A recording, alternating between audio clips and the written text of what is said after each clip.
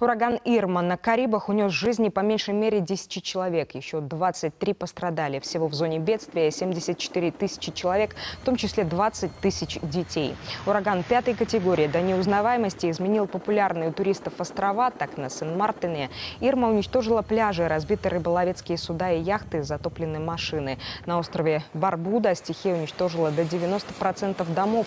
Инфраструктура на наиболее пострадавших Карибских островах разрушена на 95%. 5%. Тем временем Ирма продолжает бушевать в Пуэрто-Рико. Без света там остались более миллиона человек. Еще 50 тысяч остались без воды. Сейчас к приходу урагана готовится Куба и Доминиканская республика. Через пару дней Ирма будет уже рядом с американским штатом Флорида. На... Но и это еще не все. Два тропических шторма у берегов Америки набрали силу. Ураганами стали тропический шторм Катя, находящийся рядом с побережьем Мексика, а также Хосе, который должен пройти над Пуэрто-Рико в пятницу.